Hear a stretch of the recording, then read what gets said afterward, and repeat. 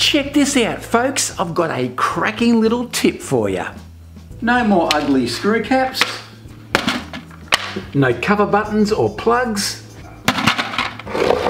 and no fillers.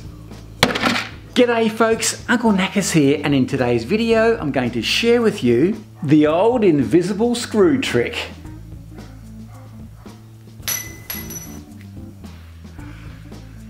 Now you're going to want to watch this, so let's do it.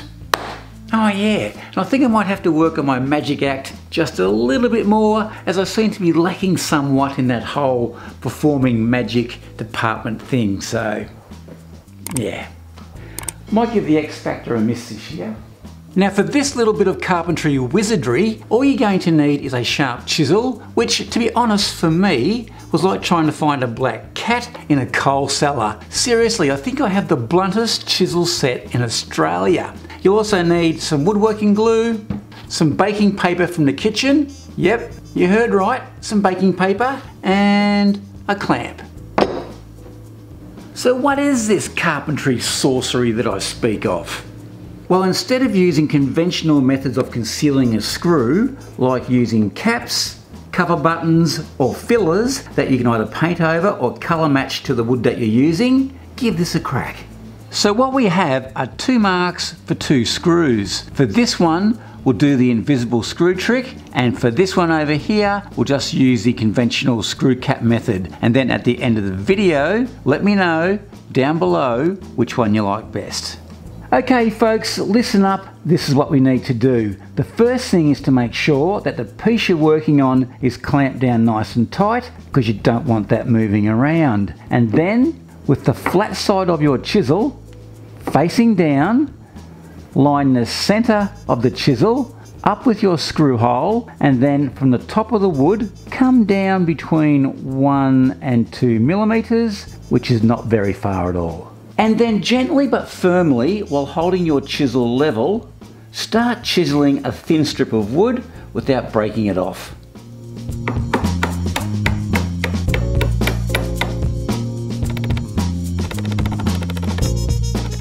There you go, that's pretty good.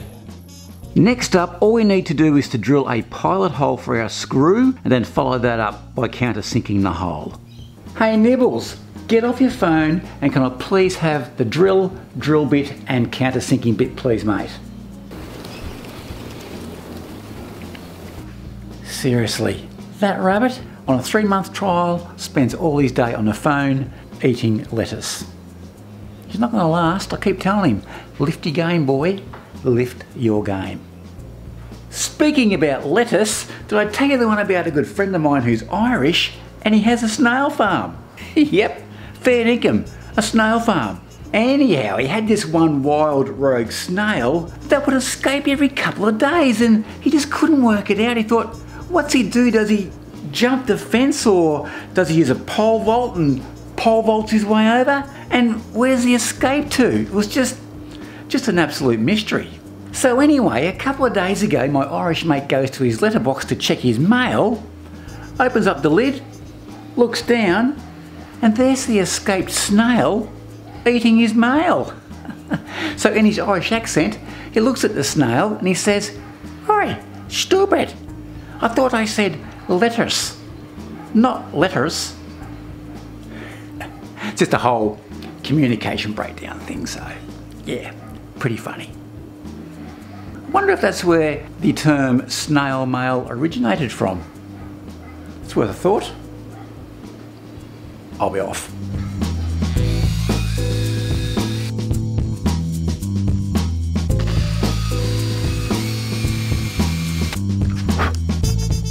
And now just simply screw the two pieces of wood together.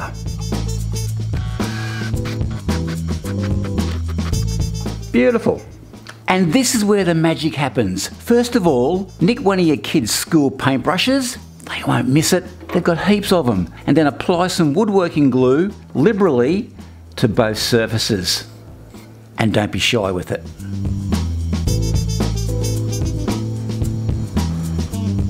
Okay, that looks pretty good. Now it's time to close this up. So what we need to do now is just gently place that thin veneer of wood back to where it once was. Squeeze that excess glue out, just like that. Then give it a bit of a clean up because you don't want glue everywhere. So clean that up with a wet rag as much as you can. It looks pretty good. And now, pro tip, with that baking paper, if we place it over that surface, if any glue comes out, our clamp isn't going to get stuck to it. Now we'll put a block over that so we don't damage the wood and then we'll just clamp this nice and tight. That looks pretty good and we'll come back in a few hours time and see how it looks. Okay folks, this is it, the moment of truth. Let's see how this turned out. Take that clamp off and now take away the paper. Look at that! It's meant to be a screw there. That is awesome and it hasn't even been sanded yet.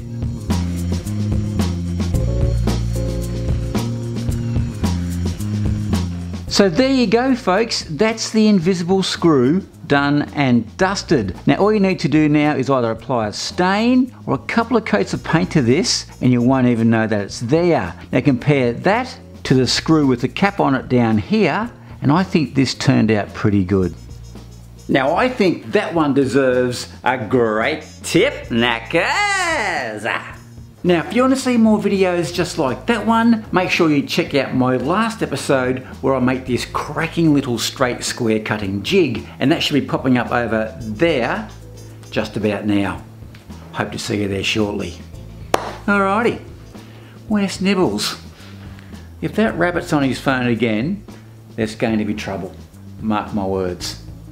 Nibbles! Nibbles!